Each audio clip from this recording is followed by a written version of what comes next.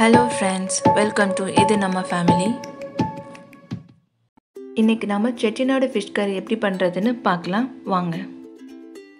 இந்த குழம்புக்கு நம்ம தேங்காயோ வெங்காயம் தக்காளியோ அரைச்சி ஊற்ற போகிறது கிடையாது. தேவையான பொருட்கள்.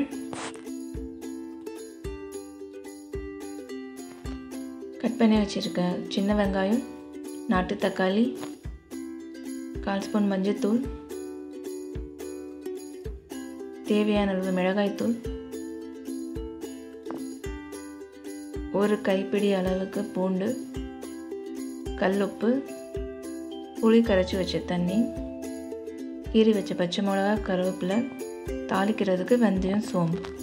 இப்போ வாங்க நம்ம இப்போ இந்த குழம்பு எப்படி ரெடி பண்ணுறதுன்னு பார்க்கலாம். அடுப்பத்தை வச்சுக்கலாம். கடாய் நல்லா சூடானதுக்கப்புறம் எண்ணெய் ஊற்றிட்டு வெந்தயம் சோம்பு போட்டு தாளிக்கணும். இதுக்கு கடலெண்ணெய் இல்லைன்னா நல்லெண்ணெய் ரொம்ப நல்ல டேஸ்ட் கொடுக்கும்.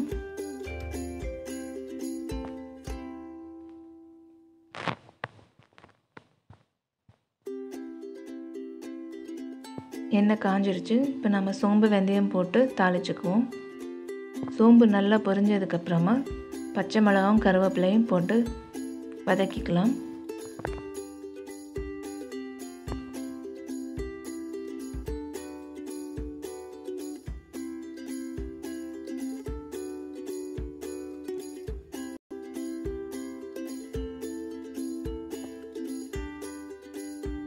இப்போ இதில் நம்ம உரித்து வச்சுருக்க பூண்டு சேர்த்துக்கலாம்.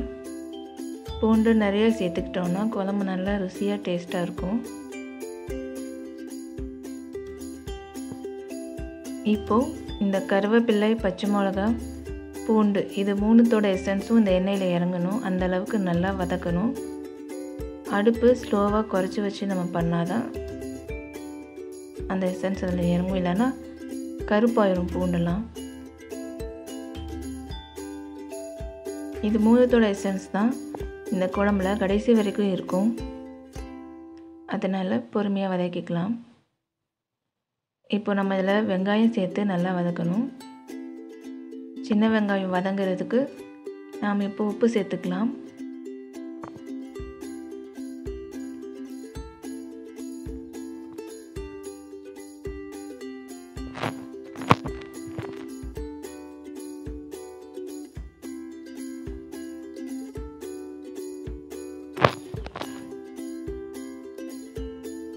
உப்பு சேர்த்து நல்லா வதங்கினதுக்கப்புறம் நம்ம கட் பண்ணி வச்சுருக்க நாட்டு தக்காளி சேர்த்துக்கலாம்.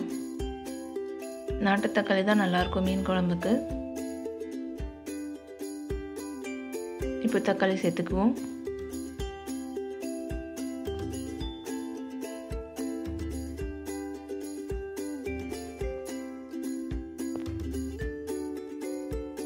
இப்போ தக்காளி வதங்குறதுக்கு கொஞ்சமாக உப்பு போட்டுக்கலாம்.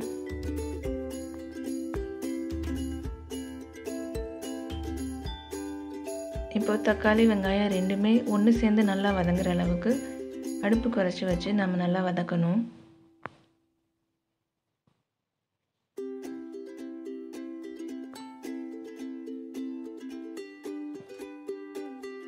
இப்போ நல்லா ரெண்டுமே நல்லா வதங்கிடுச்சு.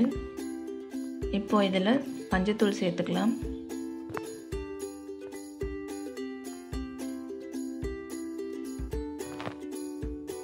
மஞ்சத்தூள் சேர்த்து நல்லா வதங்கினதுக்கப்புறம்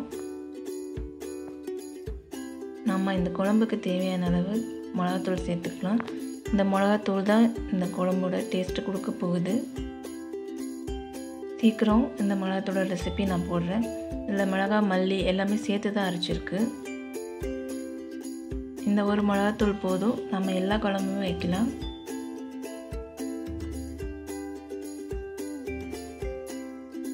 இப்போ நம்ம இதில் மிளகாத்தூள் சேர்த்துக்குவோம்.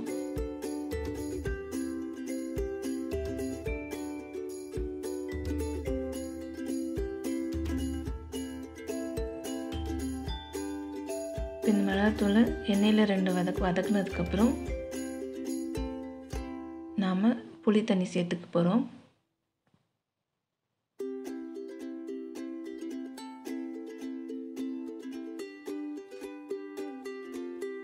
இப்போது ஒரு ரெண்டு எலுமிச்சை அளவுக்கு நம்ம ஊற வச்சுருந்த புளியை நல்லா கரைச்சி திக்கான பேஸ்ட்டாக எடுத்து அதை நம்ம இப்போ இதில் ஊற்ற போகிறோம் ஏன்னா நான் ஒன்றரை கிலோ மீன் எடுத்திருக்கேங்கிறனால இவ்வளோ புளி நம்ம சேர்க்க வேண்டியது இருக்கும்.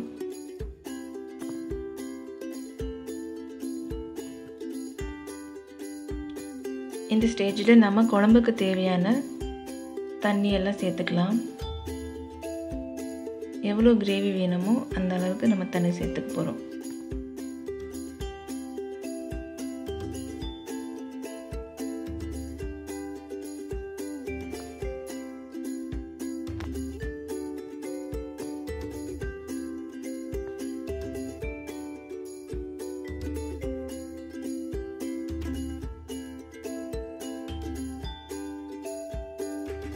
தண்ணி சேர்த்ததுக்கப்புறம் குழம்பு நல்லா கொதிக்கணும்.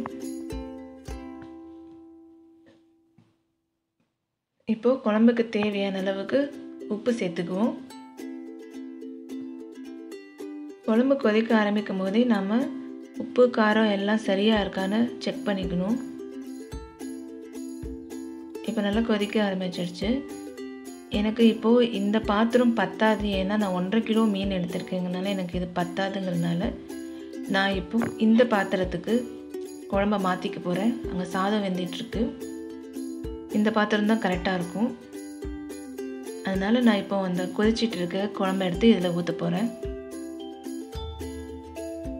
இதில் ட்ரான்ஸ்ஃபர் பண்ணதுக்கப்புறம் குழம்பு நல்லா வற்றி கொதிக்கிற அளவுக்கு நம்ம நேரம் கொடுக்கணும். குழம்பு ரெடி ஆனதுக்கப்புறம் உப்பு எல்லாம் பார்த்ததுக்கப்புறம் கடைசியாக தான் நம்ம இந்த மீனை போடணும்.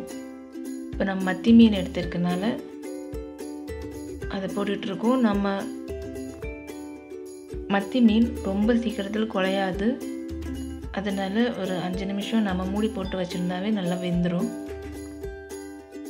எந்த நான்வெஜ் குழம்பு செய்யும் போதும் நாம் கடைசியில் அடுப்பு ஆஃப் பண்ணதுக்கப்புறம் பச்சை கருவேப்பிலையை மேலே தூவி விட்டு மூடி வச்சுருந்தோன்னா அந்த குழம்பு நல்லா ருசியாக இருக்கும். ட்ரை பண்ணி பாருங்கள் இப்போ மீன் நல்லா வேகட்டும். இந்த குழம்பு இட்லி தோசைக்கு ரொம்ப அருமையாக இருக்கும். கண்டிப்பாக ட்ரை பண்ணி பாருங்கள்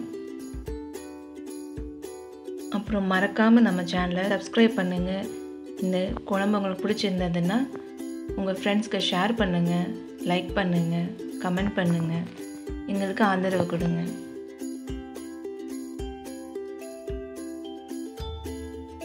திரும்பவும் வேறு ஒரு நல்ல ஒரு ரெசிப்பியில் உங்களை சந்திக்கிறேன். தேங்க்யூ